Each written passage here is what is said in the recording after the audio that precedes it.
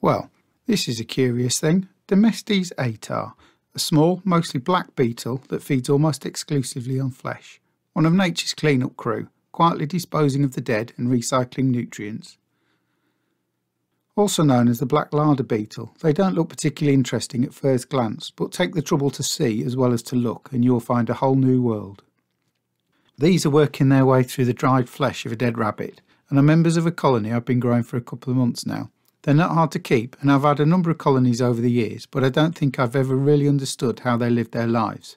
This time though is going to be different because I want to dive deeper into what makes a Dermestid beetle tick. There's nothing unusual about Dermestids in terms of being a beetle. They share the same physical layout as all insects with a head, thorax and abdomen, and in common with other beetles, their forewings are hardened into protective wing cases.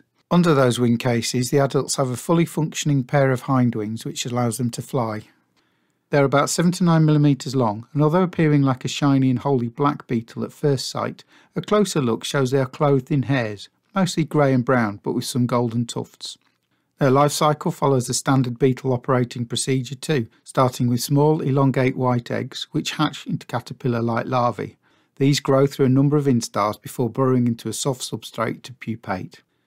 I use blocks of polystyrene and it doesn't take long for the adult to emerge and take off to look for a mate and something to eat.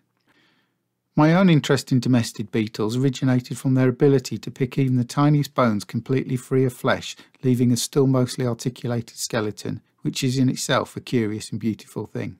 This song thrush met its end by flying into an office window. Suitably prepared, it didn't take long for the beetles to clean the flesh off the skeleton, which was then degreased and whitened before being mounted like this bantam. I've fed mine fish and reptiles as well as birds and mammals, and all types of flesh goes the same way. As well as their benefit to scientists, museums, and people like me interested in preparing skeletons and other natural curiosities, Dermestid's attraction to corpses has meant they have an important place in forensic entomology to help investigators identify things like the time of death of murder victims. They aren't all good news though, as their diet sometimes results in them being an economically important pest of stored food meant for human consumption. They can also wreak havoc in the very same museums where they are so useful if they happen to escape the beetle room and get into taxidermy collections. I've found out some bits about Dermestids over the years, but want now to learn some new things about them. I'd like to know what sort of factors determine their growth and reproduction rates and how they find their food and water. I'd also like to have a really close-up look at their anatomy, inside and out. A deep dive then into a fascinating and often overlooked true curiosity of natural history.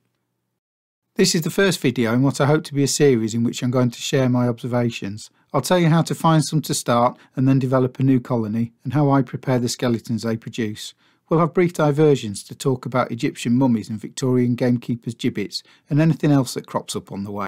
So, thank you for watching this video and if you think you might share my interest in these little black beauties then please join me next time.